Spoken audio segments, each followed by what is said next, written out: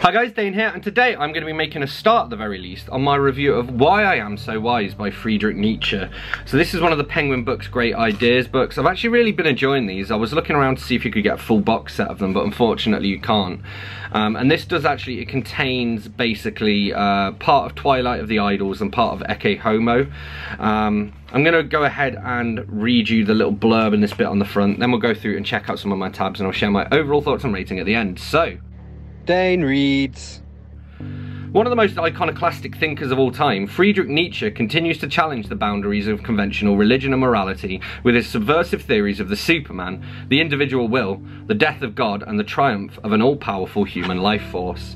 And on the front it says, I know my fate. One day there will be associated with my name the recollection of something frightful, of a crisis like no other before on earth, of the profoundest collision of conscience.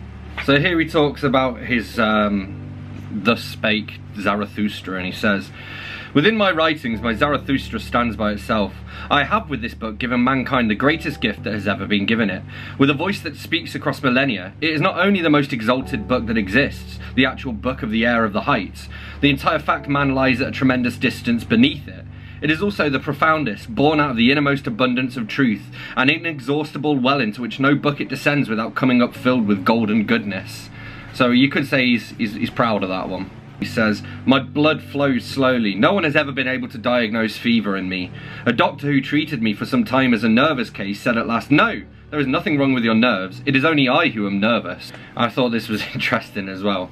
Um, obviously, I mean, so I've always found Nietzsche to be a little bit overwritten, but I never know how much of that is due to the translation. This one is translated by R.J. Hollingdale. I'm just going to read this long old chapter out. May I venture to indicate one last trait of my nature which creates for me no little difficulty in my relations with others. I possess a perfectly uncanny sensitivity of the instinct for cleanliness, so that I perceive psychologically, smell, the proximity or, what am I saying, the innermost parts, the entrails of every soul. I have in this sensitivity psychological antennae with which I touch and take hold of every secret, all the concealed dirt at the bottom of many a nature, perhaps conditioned by bad blood but whitewashed by education, is known to me almost on first contact. If I have observed correctly, such natures unendurable to my sense of cleanliness for their part also sense the caution of my disgust. They do not thereby become any sweeter smelling.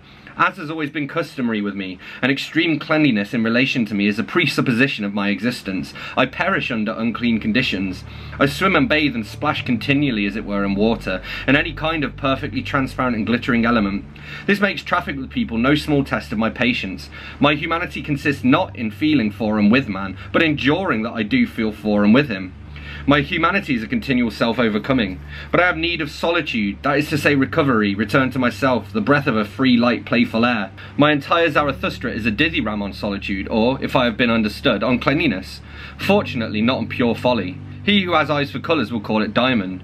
Disgust at mankind, at the rabble, has always been my greatest danger. And this is the start of why I am so clever, and there's some interesting stuff on atheism here as well, which I kind of related to, so...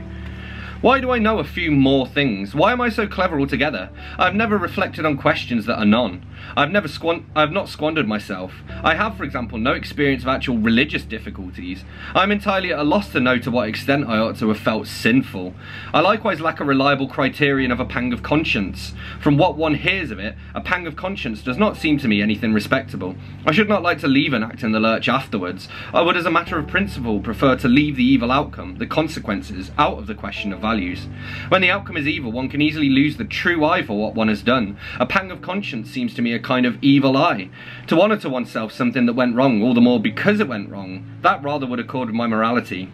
God, immorality of the soul, redemption, the beyond, all of them concepts to which I have given no attention and no time, not even as a child. Perhaps I was never childish enough for it. I have absolutely no knowledge of atheism as an outcome of reasoning, still less as an event. With me it is obvious by instinct.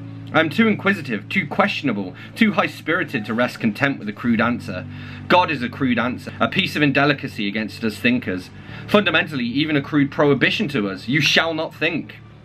And this goes on for another three pages, all as that one paragraph. And he talks about, uh, most closely related to the question of nutriment is the question of place and climate.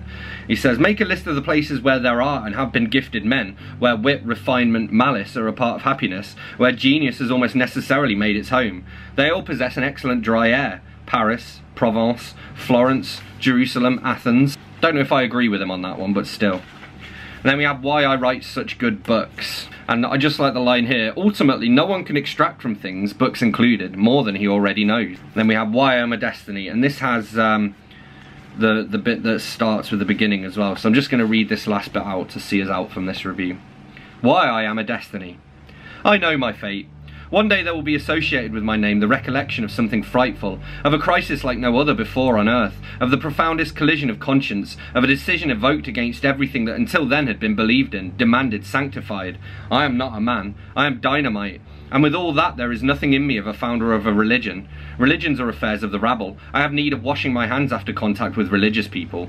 I do not want believers. I think I am too malicious to believe in myself. I never speak to masses. I have a terrible fear I shall one day be pronounced holy. One will guess why I bring out this book beforehand.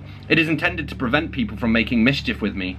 I do not want to be a saint, rather even a buffoon. Perhaps I am a buffoon. And nonetheless, or rather not nonetheless, for there has hitherto been nothing more mendacious than saints. The truth speaks out of me. But my truth is dreadful, for hitherto the lie has been called truth.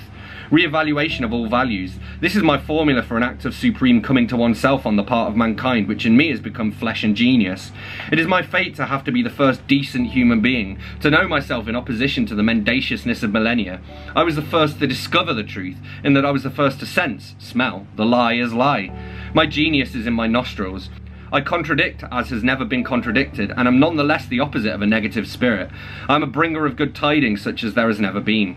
I know tasks from such a height that any conception of them has hitherto been lacking. Only after me is it possible to hope again. With all that, I am necessarily a man of fatality. For when truth steps into battle with the lie of millennia, we shall have convulsions, an earthquake spasm, a transposition of valley and mountain such as never been dreamed of. The concept politics has then become completely absorbed into a war of spirits. All the power structures of the old society have been blown into the air. They one and all respond on the lie. There will be wars such as there have never yet been on earth. Only after me will there be grand politics on earth. So yeah, why I Am So Wise by Friedrich Nietzsche. I think it's a pretty good little introduction to his stuff. I mean, if you've read all of Nietzsche's published works, you'll have already read this because it's just extracts from other stuff. But I thought it was pretty readable. Um, I mean, obviously, you have to think a lot, but that's kind of why you read books like this. All in all, I gave it a pretty strong 3.5 out of 5. I did enjoy it, and I'll be reading more Nietzsche soon.